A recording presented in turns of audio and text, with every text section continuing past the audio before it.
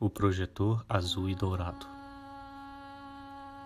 Ele surgiu na região trevosa, envolto numa luz azul e dourada, transbordante de sentimento puro. Flutuou sobre a multidão espiritual que o esperava e espargiu energias sadias para todos que ali estavam. De suas mãos fluíam raios coloridos, que se misturavam às auras daqueles espíritos sofredores. Seu momento mágico era aquele.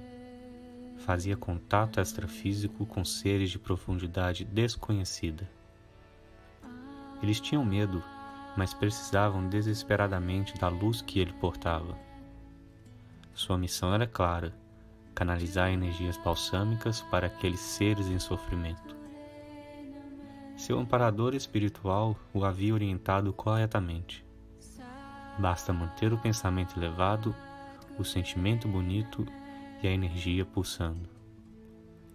Seu corpo espiritual brilhava intensamente, e quem o visse naquela cratera extrafísica, em meio àqueles espíritos doloridos, diria que um ser estrelar espiritual visitara as furnas umbralinas.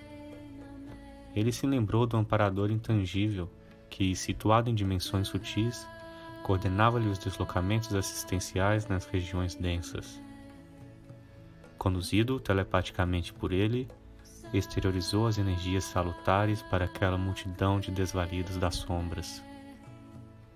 Terminada a tarefa, ele volitou novamente ao plano terrestre, onde o seu invólucro físico dormia profundamente. Não estava preocupado se iria se lembrar ou não daquela projeção, pois sentia-se bem por ter sido útil no contexto evolutivo da humanidade. Projetores desse porte são o ouro dos amparadores, assim como estes são o ouro dos bons projetores. Savananda, os iniciados.